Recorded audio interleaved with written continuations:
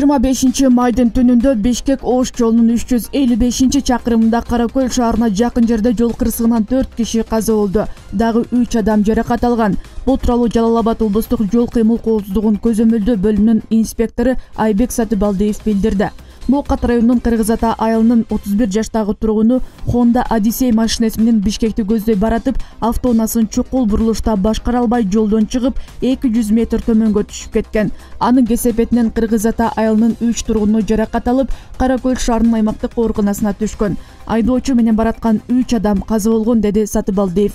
Каза болгон жүргүнчүлөр жыйырма он сегиз жаштагы жигиттер жана жыйырма эки жаштагы кыз учурда бул окуя боюнча иликтөө иштери жүрүүдө.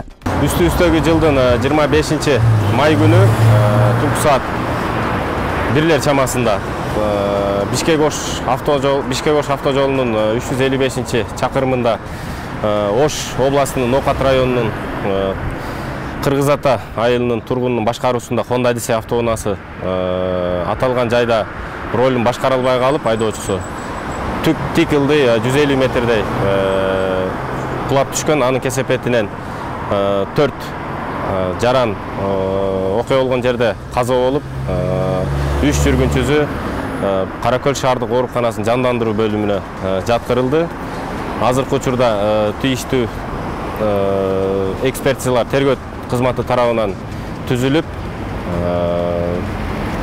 азыркы маалда автоунааны окуя болгон жайдан жолго чыгаруу иштери жүргүзүлүүдө кыргызстанда соңку бир сутка ичинде коронавирус инфекциясы медициналык беш кызматкердин анализинен табылды. Алар баары тең бишкектеги медициналык мекемелерде иштегендер экени аныкталды. Коронавируска каршы республикалык ыкчам штабтын маалыматына караганда кечээден бери бир мед кызматкер айыкты. Жалпысынан бул илдетке чалдыккан медицина өкүлдөрүнүн саны эки жүз сексен кишиге жетти. Алардын эки жүз оору жуккандардын көбү эки жүз ашууну аялдар калгандары эркектер. Дүйнөдө коронавирустан айыккандардын саны эки миллион бир жүз алтымыш тогуз миң беш адамды түздү. Бул тууралуу джонс хопкинс университетинин атайын жүргүзгөн эсебинде көрсөтүлгөн. Ага ылайык дүйнөдө ковид он тогуз инфекциясын беш миллион төрт жүз он миң эки жүз сексен сегиз жаран жуктурса үч жүз кырк беш миң бир жүз төрт адам каза болду.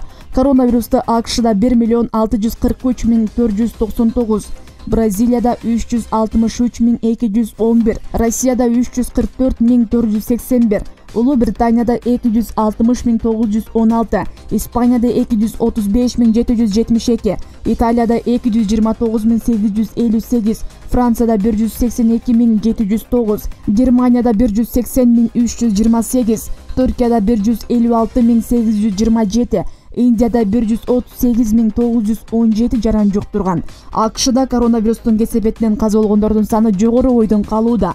Каза болгондордун саны токсон жети миң жети жүз жыйырма эки адамды түзөт.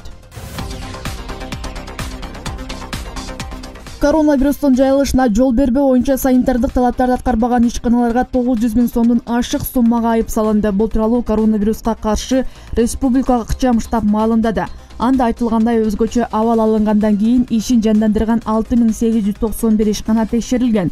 Натыйжада алты жүз сексен ишкананын ээсине жалпы суммасы тогуз жүз жетимиш жети миң сомдук айып пул салынды.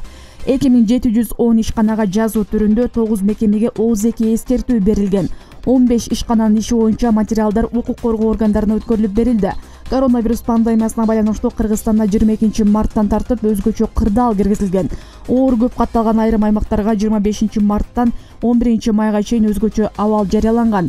Азык түлүк өндүргөн саткан ишканалардан дарыканалардан тышкары баардык ишкана мекемелер убактылуу ишин токтоткон жыйырма төртүнчү жыйырма бешинчи жыйырма алтынчы май күндөрү ош облустук жана шаардык ички иштер башкармалыгынын кызматкерлеринен турган атайын бригадалар күчөтүлгөн тартипте иш алып барышууда.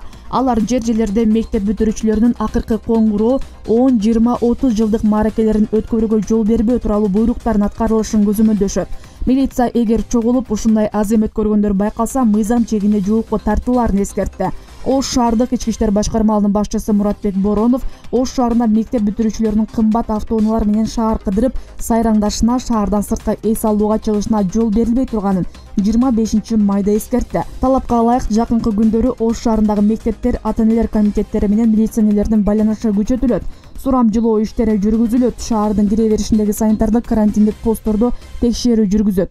Ош облустук жана шаардык ички иштер башкармаларынын кызматкерлери шаарга жакын жайгашкан эс алуу жайларын көзөмөлдөйт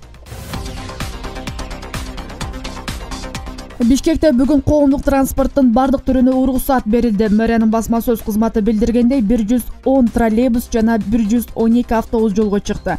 Ал эми маршруттук кичи автобустар адаттагыдан дээрлик элүү пайызга аз чыкты. Болжол менен сегиз жүз тогуз жүз даана муну адистер бүгүн кыргызстанда расмий түрдө дем алыш күн деп жарыяланганы менен жүргүнчү ташууга коюлган жаңы чектөөлөрдөн улам жол киреден киреше табуу мүмкүнчүлүгү азайганы менен түшүндүрүүдө бишкек мэриясы эки миң жыйырманчы жылы жайкы каникул учурунда отуз төрт мектепти он төрт бала бакчаны жана балдардын эки чыгармачыл борборун капиталдык ремонттон өткөрүүнү көздөп жатат.